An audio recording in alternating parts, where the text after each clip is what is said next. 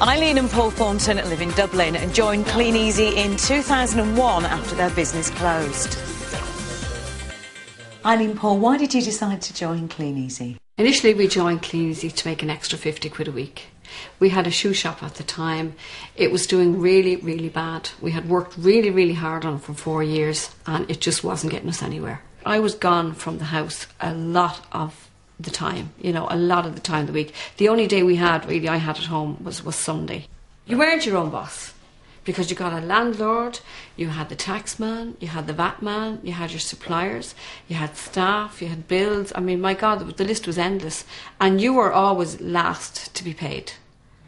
With Kleeneze, you're first to be paid. You're paying yourself as you go. How easy did you find it fitting Kleeneze in amongst the commitments that you already had? Because it sounded like you were so stretched already. At the time, it wasn't very easy. No. Uh, we we were really stuck for time. Time was more precious then than money, even you know, as we speak. It was really hard. Um, the thing we discovered about Kleeneze though was it's absolutely so flexible. Can you explain the team building side of the business and how that works? When you show the business to other people and they decide to join, you're actually paid a return on their sales. These people, in turn, you show them how to introduce other people to their team, and you're paid on those sales also. Eventually, they start to team build themselves, and basically, you're paid on the entire team. The bigger the team, the more money you earn. Now, you talk about building a team, but how do you actually go about finding the people to join it? The first people we found actually when we started in were customers. But they were good, yeah. We were just talking to people at the doors. weren't And they we? would ask you when you come to the door, does this pay? Does this pay you? Like, what are you doing this for? That we wouldn't be doing it unless it paid us. Like, this is the, you know, this is the way we do things.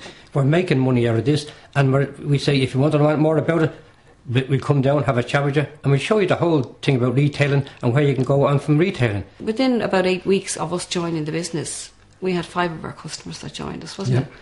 And uh, they were very happy then because they went on then to make money and bonuses and so on.